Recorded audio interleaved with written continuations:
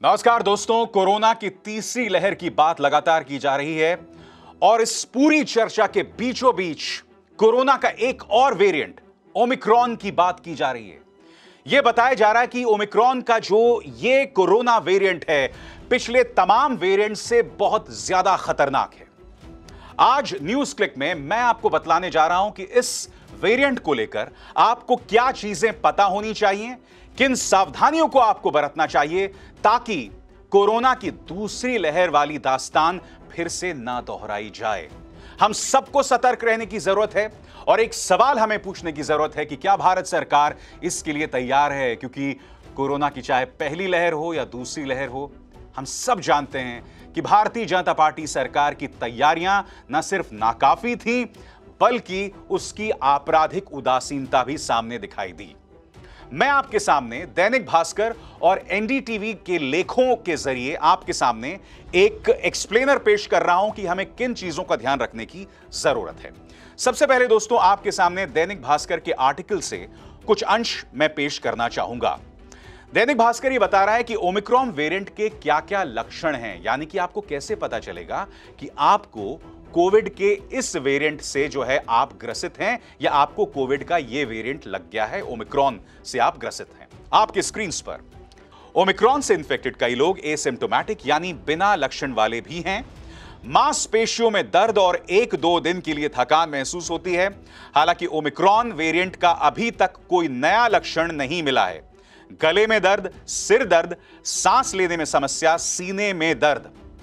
चिंता की बात यह है दोस्तों जो यहाँ लिखा हुआ है, हालाँकि ओमिक्रॉन वेरिएंट का अभी तक कोई नया लक्षण नहीं मिला है। अब यह लगातार कहा जा रहा है कि यह जो वेरिएंट है यह डेल्टा वेरिएंट से कहीं ज़्यादा खतरनाक है, मगर इसका कोई नया लक्षण नहीं है। यह भी कहा जा रहा है कि वैक्सीनेशन का भी इस पर शायद असर ना पड़े। ये दो मुद्दे जो हैं, लगातार चिंता पैदा कर रहे हैं। इसके बाद, आपको क्या सावधानियाँ बरतनी चाहिए? नए वेरिएंट से बचने के लिए कोविड प्रोटोकॉल्स का पालन करना ज़रूरी है। और ये कौन से प्रोटोकॉल्स हैं दोस्तों, आप सब जानते हैं। यानी कि मास्क पहने सैनिटाइजर का इस्तेमाल करें और सोशल डिस्टेंसिंग का खास ध्यान रखें। सभी एक्सपर्ट वैक्सीनेशन लगवाने की सलाह भी दे रहे हैं। देखिए दोस्तों, इन चीज़ों में किसी तरह का कोई समझौता नहीं हो सकता।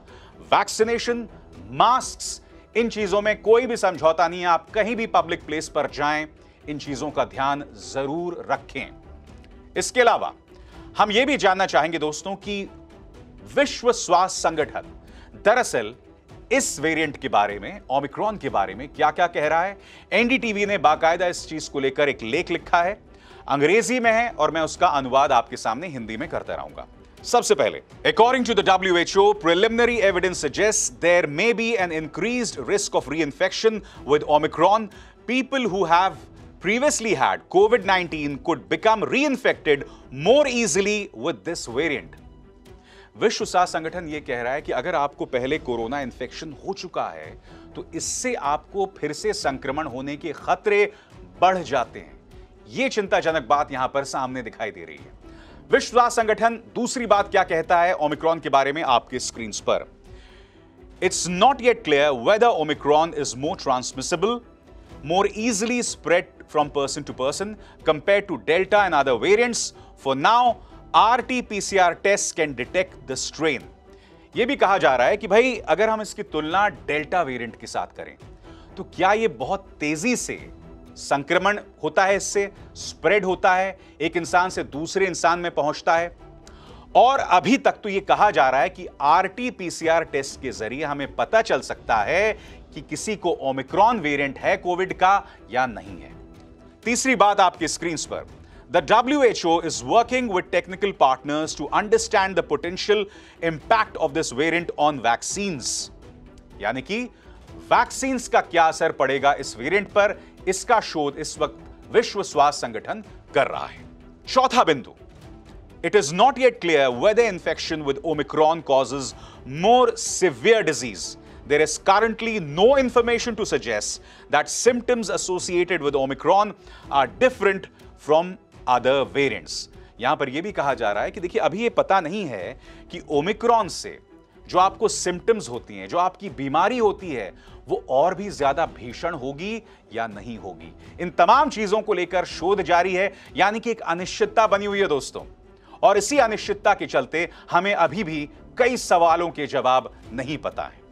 अब पांचवा बिंदु जो है बहुत अहम है Preliminary data suggests increased hospitalization in South Africa, but this may be due to increasing overall numbers of people becoming infected rather than a result of specific infection with Omicron.